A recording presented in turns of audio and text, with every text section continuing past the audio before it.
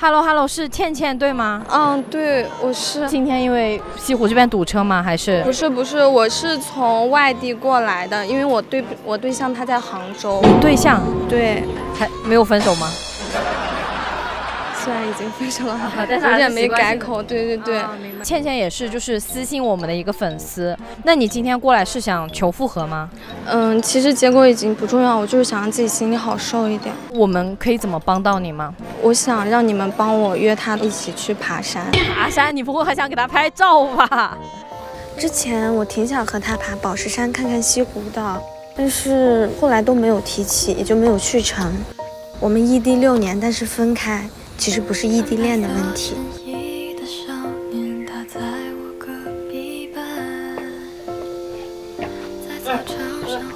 Hello，好久不见。好久不见。最近还好吗？嗯，还好。你知道他今天约你来要干嘛吗？看看这个。爬山吗？你要拍照吗？不拍。然后我我们会拍的，我会拍的。就有点紧张是吗？有一点。跟你说，爬山有一个规则，慢慢爬，不能急。还好吗？还好。你看，你看，嗯。我以后不会再接这种委托了。就大家私信的时候，记得写好，就是你们要去做什么活动，爬山什么的，体谅体谅我。小心头。你头小心，小心哦，小心小心。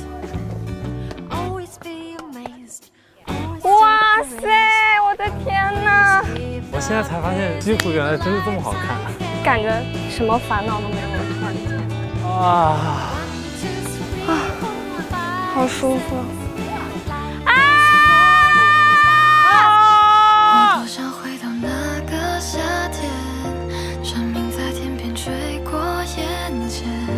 大哥，脖子伸过来。美吗？嗯。我们下次去坐那个船吧。就是你今天陪我来爬山，是什么？以后日子还长着呢。你想爬山呀？把杭州山全爬了。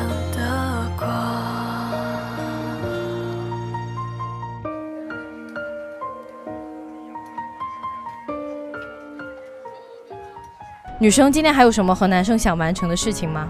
嗯，我今天其实是有一样东西要给他的。什么东西啊？这个。不是，你你不是说都已经过去了吗？你你还怎么还在意这个东西啊？我觉得我们还是算了吧。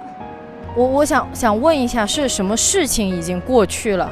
之前他跟他学姐搞暧昧被我发现了。就是我一个关系特别好的一个学姐，就根本就没有我们之间根本就没有发生过什么。关系特别好的学姐，你知道吗？她一个学姐而已，她就可以半夜去她家修电脑，她就可以在她学姐生病的时候给她煲汤，她学姐下班下雨了还可以去接他。那到底我是你女朋友还是你学姐是你女朋友？是不是所有女生你都可以这样对待？你肯定看我手机。是，我是偷看他手机了。我真后悔我没有早点偷看他手机，因为他们这样的关系已经持续了一年多，一年多。但是都是他来主动找的我呀。一个巴掌拍不响，你不懂吗？好吧，我承认他确实对我有好感，但是我也拒绝他了，因为我有你了。那所以男生有没有告诉过你他学姐跟他？他没有，因为我怕我告诉他了之后，然后他就会多想，所以你选择想要自己处理这件事情。对，我觉得我自己能处理好。你觉得你们频繁的联系就是你的处理方式吗？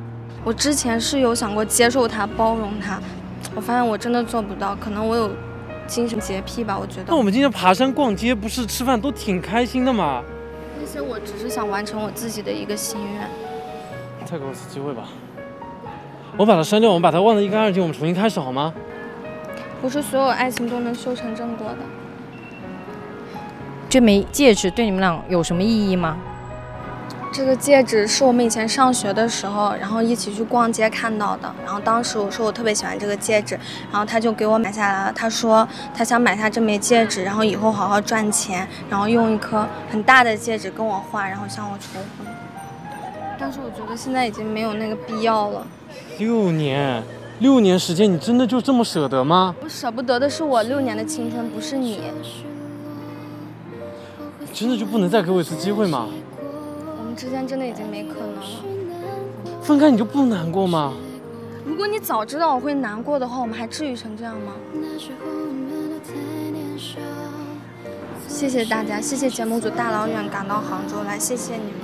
然后我这边还有事，那我就先走了。好，那你路上慢一点。谢谢大家，拜拜拜拜。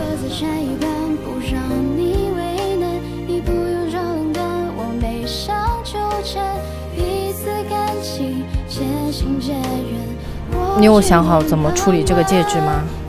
我有点懵，我到现在都还不知道今天为什么会这样子。我以为他叫我来是复合的。如果你还没有想好的话，或许你可以把它交给我们，就等你以后想清楚了，随时来找我们拿。